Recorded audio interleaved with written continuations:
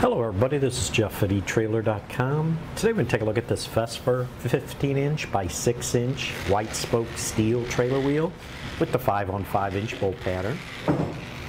Now this is a heavy duty sturdy steel wheel. You can see this one has the spoke design with the nice bright white finish to it. And when I say the spoke design, if you notice it's the design that has these triangular holes between the spokes. It does use a white acrylic enamel finish to resist chipping and other damage, so it's better than the standard powder coat finishes that are out there. And this finish is applied after a zinc phosphate pretreatment and it covers an E-coat primer layer. This will give you a nice excellent corrosion resistance with a salt spray rating of more than a thousand hours. This does use the beveled stud holes which will help keep the wheel securely in place on the trailer hub, eliminates the need for constant retightening of your lug nuts.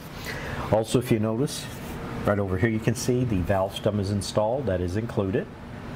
Now it does not come with a center cap. If you do want to have a center cap, we do sell those separately on our website.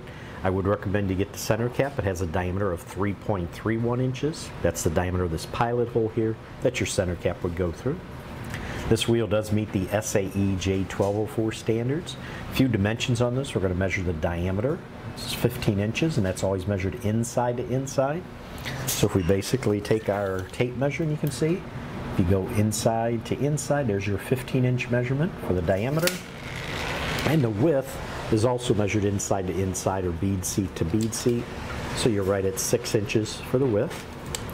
Now the bolt pattern on this wheel is a 5 on 5 inch bolt pattern and if you want to measure that on a wheel that's an odd number of lugs, in this case 5 lugs, it's a little bit harder because the lug holes are not directly across from each other.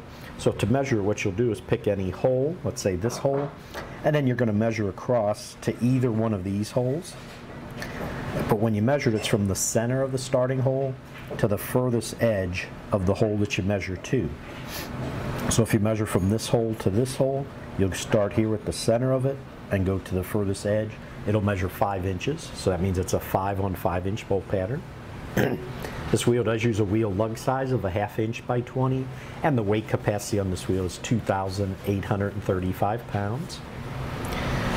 But that should do it for the review on the Vesper 15 inch by 6 inch white spoke steel trailer wheel with the 5 on 5 inch bolt pattern.